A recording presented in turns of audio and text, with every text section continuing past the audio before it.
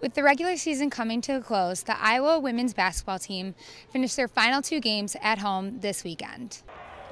Despite their record setting season of home victories, the final games are bittersweet for seniors Samantha Logic, Melissa Dixon, Bethany Doolittle, and Catherine Reynolds, who are saying goodbye to their home court at Carver Hawkeye Arena.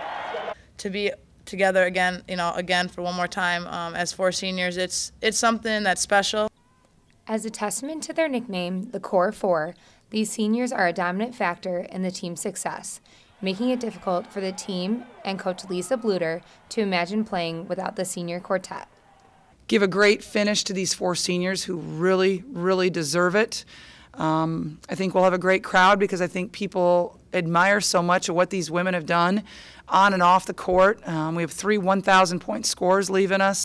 While they continue breaking records, these veterans are leaders both on and off the court. Point guard Samantha Logic was one of two Hawkeyes to recently make the list of 15 academic All Americans in the nation.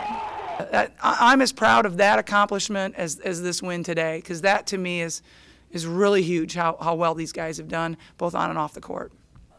With their Hawkeye careers winding down, the foursome is the winningest graduating class since 1994, recording 89 victories in four seasons. While the seniors may have played their final game here at Carver Hawkeye Arena, they look forward to a bye this week as they head to the Big Ten tournament.